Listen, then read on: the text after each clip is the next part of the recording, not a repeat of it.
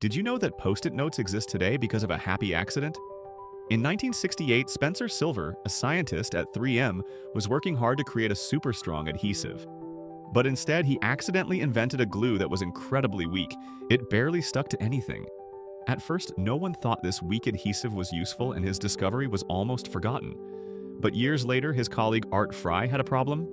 He sang in a church choir and needed a bookmark for his hymnal that wouldn't fall out but also wouldn't damage the pages. That's when he remembered Silver's unusual adhesive. Fry realized that this weak glue was perfect for creating sticky notes that could be easily attached and removed without leaving any residue.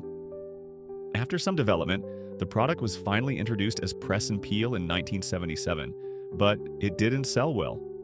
It wasn't until they rebranded it as Post-it Notes in 1980 that it became a huge success.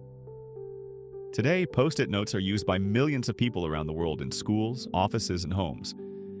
Subscribe for more